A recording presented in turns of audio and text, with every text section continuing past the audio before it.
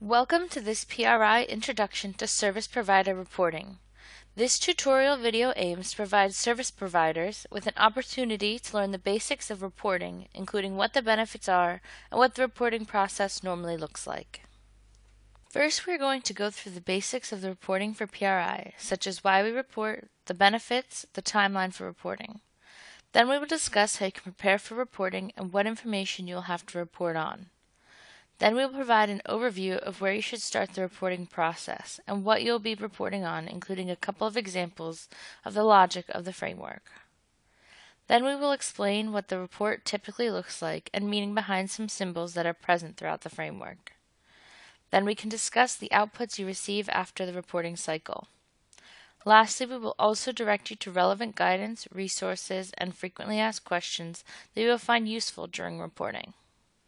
PRI Reporting Overview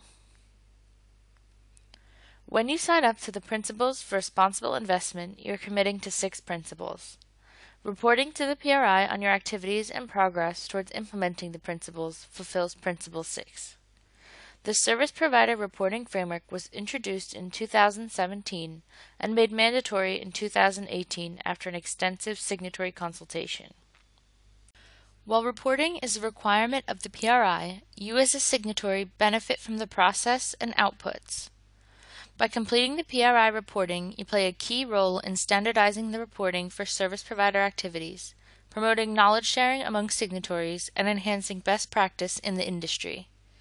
Your transparency report provides a summary of your existing responsible investment or ESG services and can be easily shared internally or externally to showcase your practices.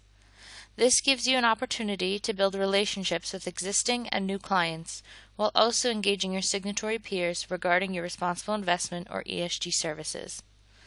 Reporting also delivers PRI with the unique opportunity to use all the signatory data on an aggregate level to present the big picture, analyze trends, and create leading guidance for signatories. Once you are a signatory to the PRI, you must report on a yearly basis to maintain your signatory status. Reporting is mandatory for all signatories. However, signatories do get a voluntary reporting year after they have signed up. We recommend that signatories do report in their voluntary year as a learning opportunity and to prepare for their mandatory reporting year.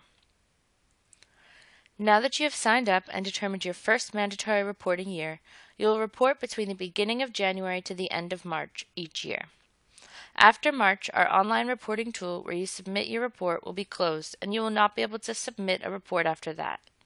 You will be able to access your reporting outputs immediately after you have submitted your report. During the rest of the year, the reporting and assessment team works on validating data, analyzing the feedback that signatories have submitted through the reporting framework, reviews the reporting framework modules to ensure that they are updated and aligned with PRI guidance, and improves technical and IT aspects to ensure that the reporting process is smooth. The updates to the reporting framework are published in late November in preparation for the following reporting cycle in January. Now that you know when to report, I'm going to outline the three basic steps of the reporting process. Firstly, it is good to get an understanding of the type of information that the PRI will ask you to report on. You can do this by visiting the Reporting for Signatories webpage at unpri.org and downloading the most recent copy of the reporting framework. On this webpage, you can also view our main definitions document and any other guidance provided. Secondly, once you understand what information you will report on, you can prepare for the reporting cycle by starting to collect that information within your organization. As mentioned, the reporting cycle starts in January each year. This is when you will be able to log into our online reporting tool and enter the information you have collected. Finally, after responding to and reviewing your report, you can submit your responses. The PRI will then provide you with your reporting outputs. Reporting for service providers. To understand what you need to report on, it is important that you understand our service provider reporting framework. We have seven modules that are available for you to report on as service providers. Three are mandatory for all signatures to report on, and the other four are business specific modules. First, you will complete the organizational overview module, which will influence and determine the other modules that you will report on. This is a Get to Know Your Organization section. This module must be completed first for you to respond to the rest of the reporting framework. Next, you will respond to the Strategy and Governance module. The questions in this module are about your overall approach to responsible investment, or ESG, at the organizational level. We ask about policies and processes in this module. Based on your responses in the Organizational Overview module, your business specific modules will unlock. This includes business activities such as investment consultancy, active ownership services, reporting and assurance, and research and data provision. You will only see modules which are applicable to you. If you do not identify any of the business specific modules, you will only be required to complete the Organizational Overview, Strategy and Governance, and Closing module. The last module that you will complete is a closing module where you can report on how you have verified the responses in your report, give feedback to the PRI, and review your submission one last time. The illustration currently displayed shows you how the logic of the Service Provider Reporting Framework works. As mentioned, it is strongly driven by your responses to the Organizational Overview module, in particular Indicators 003 and 005, where you specify your service offerings and the ESG coverage. For instance, if you report in 003 that you provide investment consultancy services, and in 005 that you derive a certain percentage of revenue from the ESG service in your investment consultancy offering, the investment consultancy module will unlock. If none of your revenue is derived from ESG activities for the services reported in 003, you will only be required to complete the Strategy and Governance and Closing module. The reporting framework modules consist of different question types, or what we call indicators. There are different indicator purposes and disclosure types. Each indicator will be labeled with its purpose and disclosure level. While responding to the framework indicators, we want to be as clear as possible, Therefore, we have created icons and explanations for the purpose and disclosure of each indicator. Gateway indicators unlock other indicators.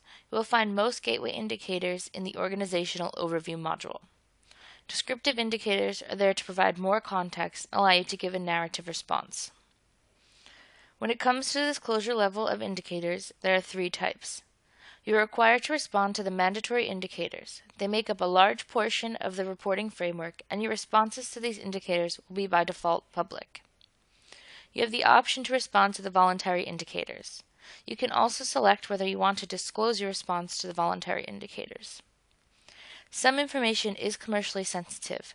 Therefore, there are indicators that are mandatory to report on, but where you can select the disclosure level according to your own preference.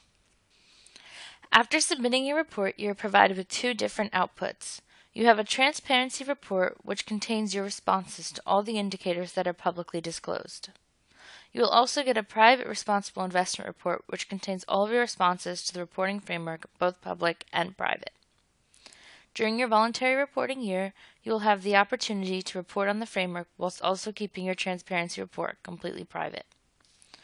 All of your reporting outputs can be accessed to the data portal where you will also find other signatories' reports and where you can view customizable snapshot reports. If you want to learn more about service provider reporting, you can visit unpri.org. You can also review our reporting guidance documents, including Service Provider Overview and Guidance, Main Definitions, Indicator Updates and Changes, Service Provider Reporting Framework Modules, and General Reporting Frequently Asked Questions. Thank you for watching this PRI Introduction to Service Provider Reporting. Please contact reporting at unpri.org with any questions.